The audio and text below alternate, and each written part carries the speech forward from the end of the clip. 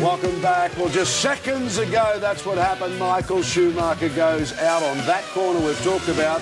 Damon Hill hit it. His brother has hit it. Everybody's hit it. But you don't expect him to hit it, AJ? No, you certainly don't. It's a rare mistake by the world's best Formula One driver. But what happened was he came into the right-hander. It's a very nasty sort of right then left. There's some shocking curves there. He's got the left-hand wheel up on the curb. That's unsettled the car, thrown it offline, and that's here we see now. He's coming in. You have a look bang, he's, oh, we've just missed that part of it, but he's, the left-hand side of the car's hit that curb.